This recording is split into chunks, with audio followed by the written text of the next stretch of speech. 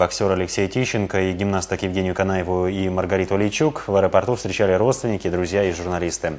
Рассказывает Никита Смирнов.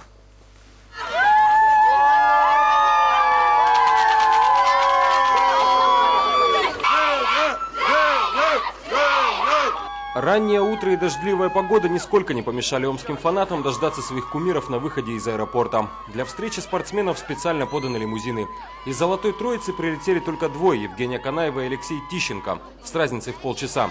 Долгая дорога домой отняла последние силы. За спиной изнурительные тренировки, сами соревнования и торжество победы на Олимпийских играх в Пекине.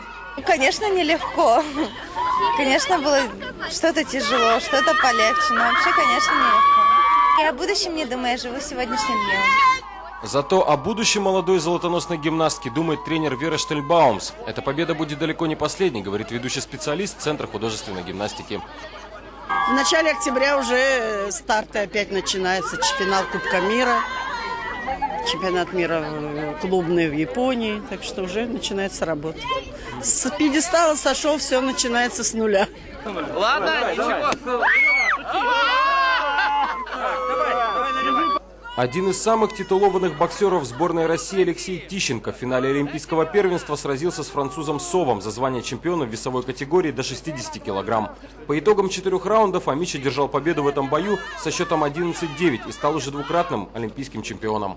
Соперник, который был в финале, он очень неудобный, очень ну, хороший соперник. В моих боях все было объективно.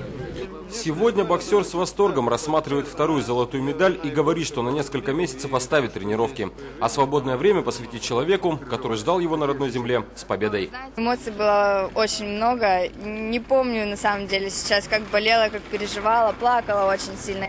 Сейчас все переживания позади. Я мечи уверены, что новые победы на мировых спортивных аренах не за горами.